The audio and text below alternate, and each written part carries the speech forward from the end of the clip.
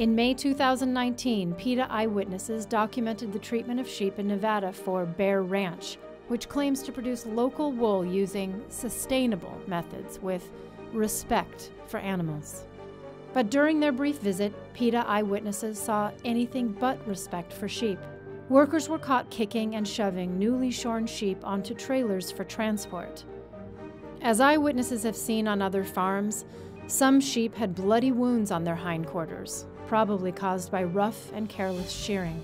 This sheep escaped. Workers chased her with dogs, lassoed her, and yanked her to the ground by the neck. Don't fall for wool industry marketing's buzzwords and gimmicks. The only truly humane and sustainable materials are vegan ones. Thank you.